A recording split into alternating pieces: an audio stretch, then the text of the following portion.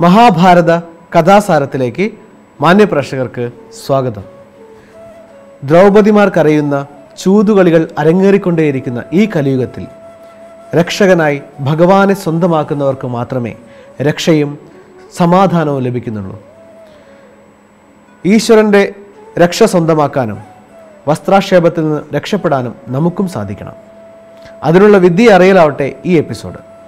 ഈ എപ്പിസോഡിൽ ഈ ചർച്ചയിൽ നമ്മെ കൈപിടിച്ച് നടത്താൻ ബ്രഹ്മകുമാരീസ് കോഴിക്കോട് ശാഖയിലെ അസിസ്റ്റന്റ് ഡയറക്ടറായിരിക്കുന്ന ബ്രഹ്മാകുമാരി ഷീബ സിസ്റ്റർ ഇവിടെ എത്തിയിട്ടുണ്ട്. സിസ്റ്റർ നമുക്ക് ഈ പ്രോഗ്രാമിലേക്ക് സ്നേഹപൂർവം സ്വാഗതം ചെയ്യാം. സ്വാഗതം സിസ്റ്റർ ഓം ശാന്തി. ശാന്തി. സിസ്റ്റർ നമ്മൾ മഹാഭാരതത്തിലെ ഏറ്റവും അധർമ്മം നിറഞ്ഞു നിൽക്കുന്ന ഒരു സമയത്ത് കുപ്രസിദ്ധമായ പാഞ്ചാലി വസ്ത്രക്ഷേപം. ശരിക്കും യുധിഷ്ഠിരൻ പാഞ്ചാലിയെ പണയം വെക്കുകയാണ് ചെയ്യുന്നത്. അതിലൂടെ ദുര്യോധനൻ വസ്ത്രാക്ഷേപം ചെയ്യുകയും ചെയ്യുന്നു പാഞ്ചാലിയെ. ഇത്രയും ഹീനമായ ഒരു പ്രവൃത്തി മഹാഭാരതം എന്ന ഇത്രയും പുണ്യഗ്രന്ഥത്തിൽ ഒരു എനിക്കൊരിക്കലും അംഗീകരിക്കാൻ പറ്റാത്ത ഒരു മെസ്സേജ് അതായത് അധർമ്മം ധർമ്മത്തിന്റെ പേരിലാണ് അധർമ്മം ചെയ്യുന്നത് കാണിക്കുന്നത്. എന്തുകൊണ്ടാണ് ഇങ്ങനൊരു ഗ്രന്ഥത്തിൽ ഇങ്ങനൊരു മെസ്സേജ് കൊടുക്കാൻ കാരണം? മഹാഭാരത കഥ കലിയുഗത്തിന്റെ വേറൊരു പതിപ്പാണ്. നമ്മൾ ഇതുവരെ കണ്ട എല്ലാ എപ്പിസോഡുകളും ഇക്കാര്യം ചർച്ചാ വിഷയമായിട്ടുള്ളതാണ്. കാരണം മഹാഭാരത കഥയിൽ പറയുന്ന ഓരോ ദൃശ്യങ്ങളും അരങ്ങേറിയത് അന്നല്ല ഇന്നാണ് എന്ന് നമുക്ക് തോന്നിപ്പോകും. അതെ. മഹാഭാരത കഥ രചിക്കപ്പെടുന്നതായിരിക്കുന്ന സമയത്ത് വ്യാസമഹർഷി സാക്ഷാത്കാരത്തിലൂടെ വരാൻ പോകുന്ന കാലത്തെ മുന്നിൽ കണ്ടുകൊണ്ടുള്ളതായിരിക്കുന്ന അദ്ദേഹത്തിന്റെ മനസ്സിലെ വിഭ്രാന്തിയിൽ നിന്നാണ്. എന്നുവെച്ചാൽ ഇങ്ങനെയൊക്കെയാണ് നടക്കാൻ പോകുന്നത്. ആ ഒരു ദൃശ്യങ്ങൾ എന്തൊക്കെ നാളത്തെ കലിയുഗത്തിൽ നടക്കും അതൊക്കെയാണ് അദ്ദേഹം സാക്ഷാത്കാരം കണ്ടുകൊണ്ട് മഹാഭാരത കഥയിൽ രചിക്കപ്പെട്ടത്.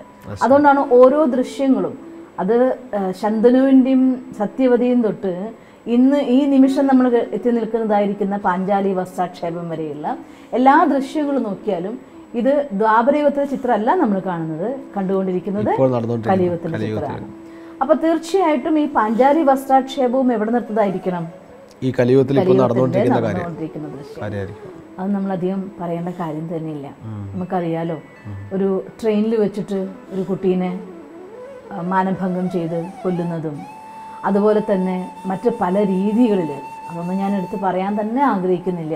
ഇത്തരം ഒരു ഇതിനുള്ള അങ്ങനത്തെ ഒരു റെഫറൻസ് പോലും തെറ്റെന്ന് എനിക്ക് തോന്നിപ്പോകാറുണ്ട് അതുകൊണ്ട് അങ്ങനെയുള്ളതായിരിക്കുന്ന ഒന്നല്ല നമ്മൾ അറിയുന്ന കേസുകൾ വളരെ കുറച്ചാണെങ്കിലും അറിയാത്തത് എത്രയോ ആണ്. എത്രയോ ദ്രൗപതിമാരാണ് കരഞ്ഞുകൊണ്ടിരിക്കുന്നത്. ഒരു ദ്രൗപതി അല്ല കരയുന്നത്.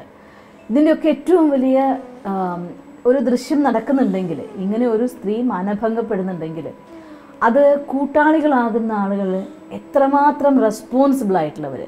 നമ്മൾ മലയാളത്തിൽ ഒരു ചൊല്ല് പറയും വേലി തന്നെ വിളവ് തിന്നുക എന്നൊരു ചൊല്ല് പറയും.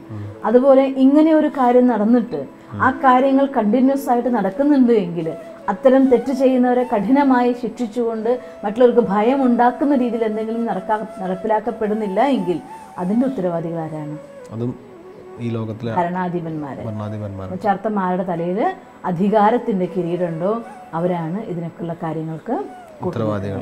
അത് ഏത് വിധത്തിലുള്ള അധികാരമാണെങ്കിലും ധനത്തിന്റെ ആണെങ്കിലും ധനത്തിന്റെ ശക്തി ഉപയോഗിച്ചിട്ട് അതല്ലെങ്കിൽ അധികാരത്തിന്റെ ശക്തി ഉപയോഗിച്ചിട്ട് വാചാശക്തി ഉപയോഗിച്ചിട്ട് ഒന്ന് ചിന്തിച്ചു നോക്കി ഈ കേസ് വാദിക്കുന്ന പ്രതിഭാഗം വക്കീലന്മാരും ഉണ്ടല്ലോ ഒന്ന് ചിന്തിച്ചു നോക്കി അവരുടെ വാചാശക്തി അവരെന്തിനു വേണ്ടി ഉപയോഗിച്ചുകൊണ്ടിരിക്കുന്നത്? അധർമ്മത്തെ സംരക്ഷിക്കാൻ വേണ്ടി. അങ്ങനെയുള്ള ആളുകളെയാണ് ശരിക്കും ശകുനിമാരെന്ന് ആലോചിച്ച് നോക്കിയത് ശകുനി ദുര്യോധനനെ രക്ഷിക്കാൻ വേണ്ടി വാദിക്കുന്ന ആളാണ്. അപ്പൊ തന്റെ വാചാശക്തിനെ തെറ്റായി ഉപയോഗിച്ച അവർ ആ സമയത്ത് ആറ് റോൾ വന്നു കഴിഞ്ഞു? ശകുനി റോളായി കഴിഞ്ഞില്ലേ? ഒന്ന് ചിന്തിച്ചു നോക്കൂ. അവിടെ ഇതെല്ലാം കണ്ടിട്ടും കണ്ണടച്ചിരിക്കുന്നതായിരിക്കുന്ന മഹാരഥന്മാര് ആ സദസ്സിലുണ്ടായിരുന്നവർ പറയുമ്പോൾ നമുക്ക് വിഷമം തോന്നിപ്പോവും. അത് ആ ദൃശ്യം മാത്രം മഹാഭാരത ഓർക്കുമ്പോൾ എപ്പോഴും മനസ്സ് വിഷമിച്ചു പോവും മനസ്സ് വിറയിൽ കൊണ്ടുപോകും കാരണം എന്താ വെച്ചിട്ടുണ്ടെങ്കിൽ ആരുടെ മുന്നിൽ നടക്കുന്നത്?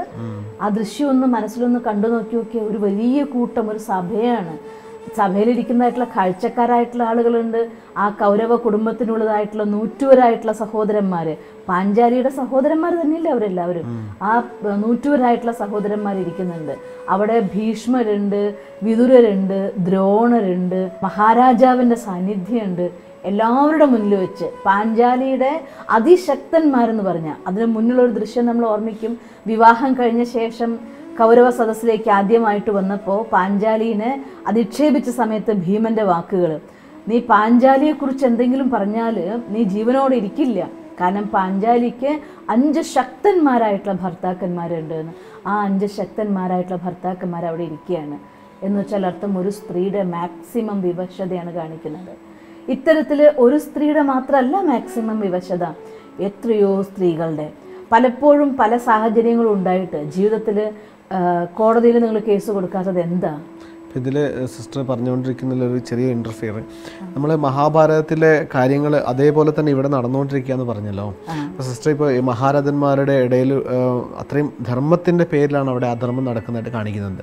പക്ഷേ ഈ ലോകത്തിൽ നടക്കുന്ന അത്തരം പ്രവർത്തികൾ അതിന്റെ ഒരു ധർമ്മം എന്ന് പറയുന്നത് എന്താണ്? അവർ ധർമ്മം അവരുടെ ധർമ്മം പറയുന്ന പേര് ഏറ്റവും വലിയ സങ്കടം അത് തന്നെയാണ്. ഈ ഇത്രയും വലിയ അധർമ്മം നടക്കുന്നത് ധർമ്മത്തിന്റെ പേരിലാണ്. അപ്പോൾ ഈ അധർമ്മം എന്ന് അവിടെ അവിടെ നടക്കുന്ന ധർമ്മം എന്ന് പറയുന്നത് ഈ കലിയുഗത്തിൽ എന്ത് ധർമ്മമാണ് ഉദ്ദേശിക്കുന്നുണ്ടാവുക? കോടതിയിൽ കേസ് വാദിക്കാൻ ചെല്ലുകയാണ്. എന്തിന്റെ ആധാരത്തിലാണ് അവിടെ ശിക്ഷ വിധിക്കുന്നത്? ധർമ്മത്തിന്റെ ആധാരത്തിൽ. ധർമ്മമാണ് നടപ്പിലാക്കപ്പെടേണ്ടത്. തെളിവുകളുടെയും പ്രൂഫിന്റെ ആധാരത്തിൽ മാത്രം. തെളിവില്ലാണ്ടാക്കിയാൽ ആർക്കും എന്ത് തെറ്റും ഈ ലോകത്ത് ചെയ്യാം. ചെയ്യും. ചിലപ്പോൾ ജഡ്ജിന് മനസ്സിലാവുക തന്നെ ചെയ്യും. ഇത് ഇവരുടെ ഭാഗത്ത് തന്നെയാണ് ന്യായമെന്ന് ജഡ്ജിന് വിധിയെടുക്കാൻ പറ്റുമോ? ഇല്ല. തെളിവുകൾക്കാണ് പ്രാധാന്യം. ഇതന്നെയല്ലേ? ഭീഷ്മരുടെ അവസ്ഥ. ഞാൻ പ്രതിജ്ഞാബദ്ധനാണ്. രാജാവിന്റെ രാജാവിന്റെ ദാസനാണ്. അതുകൊണ്ട് എനിക്ക് എന്റെ മുന്നിൽ ഈ നിയമമാണ്. അതുകൊണ്ട് എനിക്കിത് ചെയ്യാൻ പറ്റില്ല. ചിന്തിച്ചു നോക്കിയേ. നിയമം കൊണ്ട് ബന്ധിതനായി പോയി ഞാനും വിതുരര്. ഇതൊന്നും നീ ചെയ്യല്ലേ? എന്താണ് ചെയ്യുന്നത് നിനക്ക് അറിയുന്നില്ല എന്നൊക്കെ പറയുന്നുണ്ടെങ്കിലും അവിടെ വിതുരർക്ക് കണ്ണടച്ച് നിൽക്കാനല്ലേ പറ്റിയിട്ടുള്ളൂ. ചെയ്യാൻ പറ്റിയിട്ടുണ്ടോ? ശരിയാണ് ഇതുപോലെ എത്ര പേരുണ്ട്? സത്യമാണെന്നറിയാം ജഡ്ജിന് ഫീൽ ചെയ്യുന്നുണ്ട്. ഇവർക്ക് ഇത് കൊടുക്കണം എന്ന് തോന്നുന്നു. പക്ഷേ തെളിവില്ലാതെ ജഡ്ജ് എന്ത് ശിക്ഷ വിധിക്കും? എന്ത് ചെയ്യാൻ പറ്റും? ഇതാണ് വേറൊരു രീതിയിൽ വിവശത. ജഡ്ജിന്റെ വിവശതയാണ്. ഞാൻ ജഡ്ജിനെ കുറ്റം പറയില്ല. ജഡ്ജിന്റെ വിവശതയാണ്. കാരണം ഉണ്ടാക്കി വെച്ച നിയമങ്ങൾ അങ്ങനെയാണ്. ധർമ്മവും അധർമ്മവും തമ്മിൽ തീരുമാനിക്കാൻ തെളിവുകളുടെ ആധാരം വേണ്ടിയിരിക്കുന്നു. ആ തെളിവുകൾ ഇല്ലാതാക്കുന്ന കുറ്റവാളികൾ രക്ഷപ്പെട്ടു പോവുകയും ചെയ്യുന്നു. തെളിവുകൾ ക്രിയേറ്റ് ചെയ്യാനും പറ്റും. തെളിവുകൾ തെളിവുകൾ ഇല്ലാതാക്കാനും പറ്റും. എത്ര കുറ്റം ചെയ്യാത്തവർ ശിക്ഷിക്കപ്പെടുന്നുണ്ട്. എത്ര കുറ്റം ചെയ്യുന്നവര് പുറത്ത് നടക്കുന്നുണ്ട് തീർച്ചയായും. അപ്പൊ ശരിക്കും ഒന്ന് ആലോചിച്ച് നോക്കി. അതെ അതെ അതെ. ധർമ്മത്തിനെ കുറിച്ച് പറയുമ്പോൾ ആ ധർമ്മം ഈ ലോകത്തിൽ എങ്ങനെയാണ് എന്ന് മനസ്സിലായി. അതുകൊണ്ട് ഇതിന്റെ വേറൊരു ചിത്രമാണ് അവിടെ കാണിക്കുന്നത്. അവിടെ അത് സ്ത്രീയുടെ ബഹുമാനം മാനം പിച്ചിച്ചീന്ത് തന്നെ ചെയ്യുക. ചോദ്യം ചോദിക്കുന്ന വക്കീലന്മാർക്ക് അവരങ്ങ് മോശമാക്കാൻ കാരണം പറയാൻ പറ്റാത്ത വിധം ചോദ്യങ്ങൾ ചോദിച്ചു കഴിയുമ്പോൾ പതറിപ്പോകും സ്ത്രീകൾ അല്ലേ? പറയാൻ പറ്റുന്ന ഒരു ലിമിറ്റ് ഉണ്ടാവും. ഞാൻ കോടതിയിൽ വക്കീലായി പ്രവർത്തിക്കുന്ന സ്ത്രീകളെ എനിക്കറിയാം. അവരും എന്നോട് പറഞ്ഞു കേട്ടിട്ടുണ്ട്. ഇത്തരം എന്തെങ്കിലും കാര്യങ്ങളുമായിട്ട് കോടതിയിൽ പോയിട്ട് പിച്ച് ചീന്തപ്പെടേണ്ട സ്ത്രീകളുടെ കരച്ചിലും ഞാൻ കണ്ടിട്ടുണ്ട്. അതിന്റെ ആധാരത്തിൽ തന്നെയാണ് ഞാൻ ഇത്ര ആധികാരികമായിട്ട് പറയുന്നത്. കാരണം പല കാര്യങ്ങളും ചോദിക്കുമ്പോൾ പറയാനായിട്ട് നാവ് പൊന്താത്ത കാര്യങ്ങൾ. പക്ഷേ അതെല്ലാവരും മുന്നിൽ വെച്ച് പറയേണ്ടി വരേണ്ടി വരുന്ന ഒരു സമയത്തുള്ള ഒരവസ്ഥ പറയാതെ കരഞ്ഞും ബോധം കെട്ടു പോകുന്ന സ്ത്രീകളടക്കമുണ്ട് ഇതൊക്കെ തന്നെയല്ലേ നടന്നുകൊണ്ടിരിക്കുന്നത്? ഇനി ഇതിലപ്പുറം നമുക്ക് എന്താ പറയാനില്ലേ അതൊരു ഭാഗത്ത് മാനത്തിന്റെ അവസ്ഥ വേറൊരു രീതിയിലാണെങ്കിൽ മറുഭാഗത്ത് ആലോചിച്ച് നോക്കി നോക്കിയേ നമ്മുടെ നാട്ടിലുണ്ടായ ഒരു കുട്ടീനെ പലരുടെ മുന്നിൽ കൊണ്ട് കാഴ്ചവെച്ചത് ആ ദൃശ്യങ്ങൾ ഇടപെട്ടത് എത്ര വലിയ വലിയ ആളുകളൊക്കെ ആയിരുന്നു. എന്നിട്ടോ കേസ് വല്ലത് രംഗത്ത് വന്നോ? ഒരു കുട്ടീനെ എത്ര ഹീനമായിട്ട് അടിച്ചും എങ്ങനെയൊക്കെയോ ഉച്ച നേരത്ത് വെച്ച് കൊന്നില്ലായിരുന്നു ആ കുട്ടീനെ. എന്നിട്ട് ആ കേസൊക്കെ എങ്ങനെയോ എവിടേക്കൊക്കെ പോയില്ലേ? അതിൽ മുഖ്യമായിട്ടുള്ള പ്രതികളായിരുന്ന പലരും എങ്ങനെയൊക്കെയോ ഒഴുകിപ്പോയില്ലേ? ഇതെല്ലാം ഈ ലോകത്ത് നടന്നുകൊണ്ടിരിക്കുന്ന കാര്യങ്ങളാണ്. അതുകൊണ്ട് ഒരു കാര്യം എല്ലാ സ്ത്രീകൾക്കും എല്ലാ പുരുഷന്മാർക്കും ഞാൻ സ്ത്രീ എന്ന് മാത്രമൊന്നും പറയില്ല. നമ്മൾ നേരത്തെ പറഞ്ഞില്ലേ തെളിവില്ലാത്ത കാര്യം തെളിവുണ്ടാക്കാനും പറ്റും തെളിവിൽ ഇല്ലാത്ത തെളിവിനെ ഉണ്ടാക്കാനും പറ്റും നശിപ്പിക്കാൻ രണ്ടും പറ്റും. ഇങ്ങനെ ഇല്ലാത്ത കേസിൽ കള്ളക്കേസ് ഉണ്ടാക്കി കുരുക്കി തന്റെ ജീവിതം മുഴുവൻ ഞാൻ ജയിലിലാക്കും എന്ന് വിചാരിച്ച് ഓരോരോ വേണ്ടാത്ത ചിന്തകൾ പ്രതികാര ചിന്തകൾ തന്റെ ഇച്ഛകൾ നടക്കാതാവുമ്പോൾ ഒക്കെ കൊണ്ട് ജയിലിലാക്കുന്നുമില്ലേ പുരുഷന്മാരും ഇതിൽ പാഞ്ചാലി ഒരു പ്രതീകമാണ്. അത് സ്ത്രീയോ ആവാം പുരുഷനോ ആവാം. അതെ അധികവും അതിൽ സ്ത്രീകളാണ് അത്തരം സന്ദർഭങ്ങളിൽ കുരുങ്ങിപ്പോകുന്നുള്ളത് കൊണ്ട് അതിൽ സ്ത്രീനെയാണല്ലോ ശാരീരികമായിട്ടുള്ള ശക്തി കുറവ് കൊണ്ട് ഒരു സ്ത്രീ രൂപം കാണിച്ചു എന്നേ ഉള്ളൂ. വാസ്തവത്തിൽ ഒന്നല്ലെങ്കിൽ മറ്റൊരു രൂപത്തിൽ തേജോവധം ചെയ്യപ്പെടുന്ന എത്ര പുരുഷന്മാരും ഇല്ലേ ലോകത്ത്? അതുകൊണ്ട് ജീവാത്മാക്കളുടെ പ്രതീകമായിട്ടാണ് പാഞ്ചാലിനെ കാണിച്ചിരിക്കുന്നത്. ഏതെല്ലാം ജീവാത്മാക്കൾ? തന്റെ ഇത്തരം സാഹചര്യങ്ങൾ കുരുങ്ങുന്നു. അവർക്ക് എല്ലാവർക്കും രക്ഷപ്പെടാനുള്ളതായിരിക്കുന്ന മാർഗം ഉത്തമമായി കാണിച്ചിരിക്കുന്ന ഒരു ദൃശ്യമാണത് ലോകത്ത് ചില സഭകളൊക്കെ ഭാര്യയും ഭർത്താവും ഒന്നിച്ച് താമസിക്കുന്ന വീടിന്റെ ഉള്ളിൽ ഒരു കൂട്ടമായിട്ട് ആൾക്കാർ ചെന്നിട്ട് ഭർത്താവിനെ കെട്ടിയിട്ട് ഭാര്യയെ നശിപ്പിച്ച് സ്വത്തും കൊള്ളയടിച്ച് മക്കളെ കൊന്നിട്ട് പോകുന്നില്ലേ? ഭാര്യയുണ്ട് ഭർത്താവുണ്ട്. ആരാരെ രക്ഷിക്കാനായിട്ട്? ആർക്കും ആരെയും രക്ഷിക്കാൻ സാധ്യമല്ല ഈ കലിയുഗത്തിൽ രക്ഷ സാധ്യമാവണോ അത് സ്വയം ഭഗവാന് മാത്രമേ സാധിക്കുള്ളൂ. അത് തന്നെയാണ് എല്ലായിടത്തും നടന്നുകൊണ്ടിരിക്കുന്ന ഈ കലിയുഗത്തിന്റെ ഉള്ളിൽ നമുക്ക് രക്ഷ വേണമെന്നുണ്ടെങ്കിൽ കാരണം ദ്വാപരയുഗത്തിൽ ഇത് രചിക്കപ്പെടുമ്പോൾ വരാൻ പോകുന്ന കലിയുഗത്തെക്കുറിച്ചുള്ളതായിരിക്കുന്ന സൂചനകൾ ഇനി നടക്കാൻ പോകുന്ന ലോകം ഇങ്ങനെയൊക്കെ തന്നെയാണ് നടക്കാൻ പോകുന്നത്. രക്ഷ വേണോ? നിങ്ങൾ ഒരൊറ്റ ഭഗവാന്റെ അടുത്ത്. അതുകൊണ്ടാണ് പാഞ്ചാലിയുടെ ആ ഒരു പാതിവൃത്യത്തിന്റെ ശക്തി പാഞ്ചാലിയുടെ ഭഗവാനുള്ളതായിട്ടുള്ള അടിയുറച്ച വിശ്വാസം. ആ പാഞ്ചാലി പറയണ എന്റെ സത്യത്തിന്റെ ശക്തി ഇനി എന്നെ രക്ഷിക്കാൻ ആർക്കും ആവില്ല. എന്നെ രക്ഷിക്കാൻ ഭഗവാന് മാത്രമേ സാധിക്കൂ എന്ന് പറയുകയാണ് പാഞ്ചാലി. അതുവരെ പാഞ്ചാലി തന്റെ പരിശ്രമം എല്ലാം ചെയ്തു നോക്കി. എന്നിട്ട് രണ്ട് കൈയും കൂപ്പി ഭഗവാന്റെ അടുത്ത് പറയുകയാണ് ഇനി നീ നിന്റെ പണി ചെയ്തോ എന്ന് ദുശ്വാസനോട്. അതിനാൽ ശരിക്കും ഇവിടെയാണ് നമ്മൾ ശരിക്കും ആ സത്യത്തിന്റെ ശക്തി എന്ത് എന്നുള്ളത് നമ്മൾ കാണുന്നത്. വിശ്വാസത്തിന്റെ ശക്തി കാണുന്നത്. കാരണം സദസ്സിൽ വെച്ച് പറയുകയാണ് ഇനി നീ നിന്റെ കാര്യം നോക്കിക്കോ ഞാൻ എന്നെ രക്ഷിക്കാൻ ഭഗവാൻ മാത്രമേ ഉള്ളൂ. എന്നിട്ട് തന്റെ വസ്ത്രം പിടിക്കുക പോലും ചെയ്യാതെ രണ്ട് കൈകളും കൂപ്പിക്കൊണ്ട്. കാരണം അതുവരെ തന്റെ വസ്ത്രം സ്വയം പിടിച്ചു വെക്കാൻ ശ്രമിച്ചു. തന്റെ മഹാത്മാക്കളെടുത്ത് ചോദിച്ചു നോക്കി എല്ലാം ചോദിച്ചു നോക്കി. എനിക്കിനി ഒരു രക്ഷയില്ല എന്ന് കണ്ടപ്പോൾ നീ നിന്റെ ഡ്യൂട്ടി ചെയ്യും എനിക്കിനി ഭഗവാൻ എന്ന് പറഞ്ഞുകൊണ്ട് രണ്ട് കൈയും ഭഗവാന് നേരെ കൂപ്പിക്കൊണ്ട് ഭഗവാനെ എന്ന് വിളിക്കുന്നു അവിടെ നോക്കിയേ ഡയറക്റ്റ് ഭഗവാന്റെ ഇടപെടലാണ്. തീർച്ചയായിട്ടും. ഏത് പാഞ്ചാലി അത്തരത്തിൽ അവസ്ഥ വന്നാലും അവിടെയൊക്കെ ഭഗവാൻ ഇടപെടൽ തീർച്ചയായിട്ടും ഉണ്ടാവും. പക്ഷെ കണ്ടീഷൻസ് നമ്മൾ ഒരുപാട് തെറ്റ് ചെയ്തിട്ട് നമ്മുടെ ഭാഗത്തു നിന്ന് കുറേ അതിന് സാഹചര്യങ്ങൾ ഉണ്ടായിട്ട് നമ്മളായിട്ട് ഒരുക്കി കൊടുത്തിട്ട് നമ്മൾ പോയി വീണിട്ട് കരഞ്ഞിട്ട് കാര്യമില്ല. അവിടെ ഭഗവാൻ ഇടപെടാൻ പറ്റില്ല. അപ്പൊ ചോദിക്കും നമ്മൾ ഒരു കുട്ടി ഇങ്ങനെ അവിടെ കൊല്ലപ്പെട്ടില്ലേ? അവിടെ ഭഗവാൻ എന്തെടുക്കുകയായിരുന്നു അവിടെയും ഭഗവാൻ നോക്കി നിന്നു. ആ കുട്ടിയും വിളിച്ചില്ലേ ഭഗവാന്റെ അടുത്ത് നോക്കുക കുറേ സാഹചര്യങ്ങൾ കർമ്മക്കണക്കുകൾ ചെയ്ത് ചെയ്ത് ചെയ്ത് നമ്മൾ കാണുന്നത് ഈ കൊച്ചു ഉടുപ്പിലിരിക്കുന്ന അല്ലെങ്കിൽ ആ ഒരു ജന്മത്തിലിരിക്കുന്ന ഒരു പെൺകുട്ടീനെ ഒരു സ്ത്രീനെ അല്ലെങ്കിൽ പുരുഷനെ കാണുന്നത്. ആത്മാവാണ് ജന്മ ജന്മാന്തരമായിട്ടുള്ള കർമ്മക്കണക്കുകൾ കൊണ്ടുവരുന്നത്. ആ യാത്രയിൽ വന്നിട്ട് എത്തുന്ന സമയത്ത് എന്റെ കർമ്മം കൊണ്ട് ഞാൻ വിധിക്കപ്പെടുന്ന അവസ്ഥയിലേക്ക് വന്നിട്ടുണ്ടെങ്കിൽ അവിടെ ആർക്കും രക്ഷിക്കാൻ സാധിക്കില്ല. അപ്പം ശരിക്കും സിസ്റ്റർ പറഞ്ഞതനുസരിച്ച് ഒരു ഒരു വ്യക്തി ആ വ്യക്തിയുടെ കർമ്മത്തിൽ അത് ഉണ്ടെങ്കിൽ മീൻസ് ഭഗവാന് പോലും ഇടപെടാൻ സാധിക്കാത്ത അത്രയും മോശമായ കർമ്മമാണ് അവർ ചെയ്തിരുന്നതെങ്കിൽ അവർ ആ സമയത്ത് മാത്രം ഈശ്വരനെ വിളിച്ചതുകൊണ്ടൊരിക്കലും അവർക്ക് ആ സമയത്ത് രക്ഷ കിട്ടില്ല. പക്ഷെ അവർ ആദ്യമേ തന്നെ അവരുടെ കർമ്മത്തിനെ ഇല്ലാതാക്കാൻ വേണ്ടി കർമ്മം കർമ്മം കർമ്മം എന്ന് ഞാൻ എല്ലാ എപ്പിസോഡിലും പറയുന്നത്. അപ്പോൾ കർമ്മത്തെ ഇല്ലാതാക്കുന്ന സമയത്ത് മാത്രമേ ആദ്യമേ അവർ കർമ്മം ഇല്ലാതാക്കാനുള്ള ആ കർമ്മഫലം ഇല്ലാതാക്കാൻ വേണ്ടി പരിശ്രമിച്ചാൽ മാത്രമേ ആ സമയത്ത് അങ്ങനെ ഒരു സിറ്റുവേഷൻ വരുന്ന സമയത്ത് ഈശ്വരനും അവരുടെ അവരെ സഹായിക്കാൻ സാധിക്കൂ എന്നാണ് ഈ മെസ്സേജ് നമുക്ക് ഞാൻ ഏതാനും മാസങ്ങൾക്ക് മുന്നുള്ള ഒരു ഇവന്റ് നമ്മുടെ ഡൽഹിയിൽ നിന്ന് നമ്മുടെ വലിയ ദീദി വന്ന സമയത്ത് അവർ പറഞ്ഞൊരു അനുഭവം ഞാൻ ഓർത്തു പോകും അവിടെ ഡൽഹിയിൽ കോൾ സെന്ററിൽ വർക്ക് ചെയ്യുന്നതായിട്ടുള്ള രണ്ട് കുട്ടികൾ ലേറ്റ് നൈറ്റ് ആയി പോലും അവർ പുറത്ത് ജോലി കഴിഞ്ഞ് വരുമ്പോൾ അത് കഴിഞ്ഞ് അവർ സാധാരണ പോലെ എപ്പോഴും പോകുന്നതാണ്. അവർ പോയി അന്ന് വണ്ടി ഇറങ്ങിക്കഴിഞ്ഞ ശേഷം നടക്കുമ്പോൾ ഒരു കൂട്ടം ആളുകൾ അവരെ പിന്നാലെ വന്നുകൊണ്ടിരിക്കുന്നുണ്ട്. ഫോളോ ചെയ്യുന്നുണ്ട്. രണ്ടുപേരുള്ളിലും വല്ലാണ്ട് ഭയം വന്നു. കുറച്ച് ദൂരം രണ്ടുപേർ പോയി കഴിഞ്ഞാൽ ഇത്തിരി ദൂരം അവർക്ക് പോകാനുള്ളൂ വണ്ടി ഇറങ്ങിയിട്ട് ഒത്തിരി ഒന്ന് ഓടിയെത്താന്ന് പറഞ്ഞ പോലെ തലയുള്ളൂ അങ്ങനെ കഴിഞ്ഞ ശേഷം അവർ രണ്ടാൾ രണ്ടു വഴിക്ക് പിരിഞ്ഞു.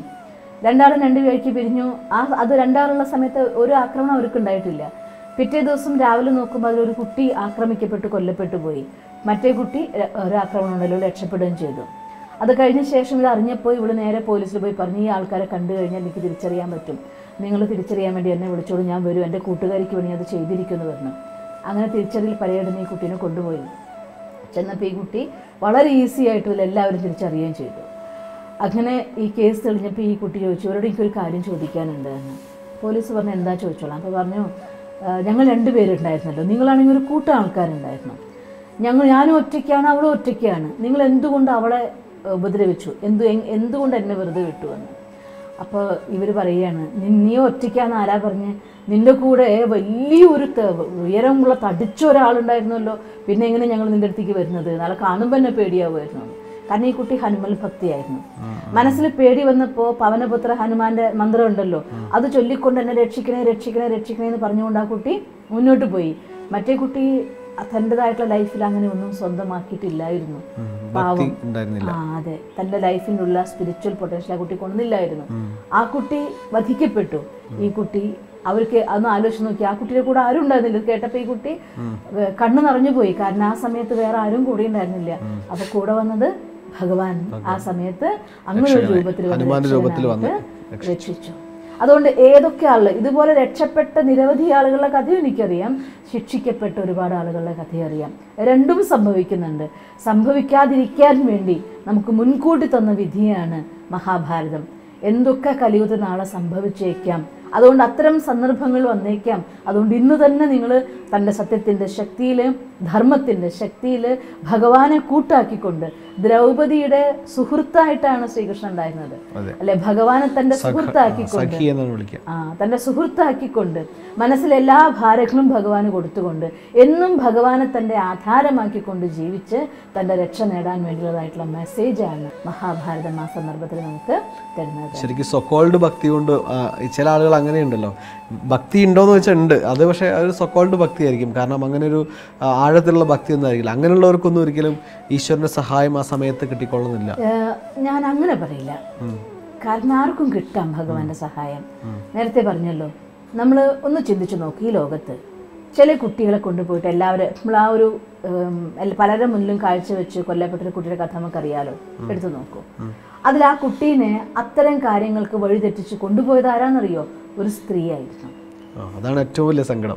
സ്ത്രീകളെ സ്ത്രീയായിരുന്നു ആ. സ്ത്രീ തന്റെ കയ്യിലുള്ളതായിട്ടുള്ള പൈസയുടെ പേരിൽ അധികാരത്തിന്റെ പേരിൽ ഒരു സ്ത്രീ നമ്മൾ അറിഞ്ഞു.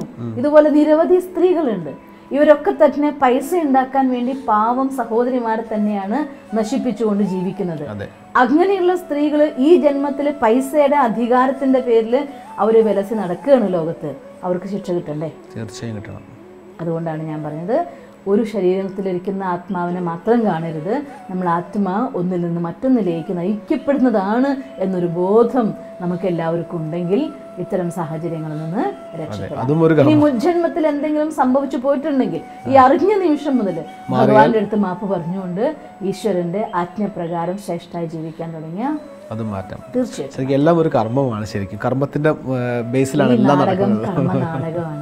രഹസ്യം കർമ്മത്തിന്റെ യഥാർത്ഥമായി മനസ്സിലാക്കാത്തത് കൊണ്ടാണ് ആളുകൾക്ക് പലപ്പോഴും കൺഫ്യൂഷൻ വരുന്നത്. കർമ്മം കൃത്യമായിട്ട് മനസ്സിലാക്കി കഴിഞ്ഞാൽ എല്ലാത്തിനും സൊല്യൂഷനുമായി സിസ്റ്റർ വളരെ ശരിക്കും ആ, മഹാഭാരതത്തിന്റെ ആ ഒരു തീം അല്ലെങ്കിൽ മഹാഭാരതത്തിന് ഏറ്റവും ഇമ്പോർട്ടന്റ് ആയിട്ടുള്ള ഒരു സെഷനാണ് നമ്മൾ ഇന്നത്തെ എപ്പിസോഡായിരുന്നത് പാഞ്ചാലി വസ്ത്രക്ഷേപം.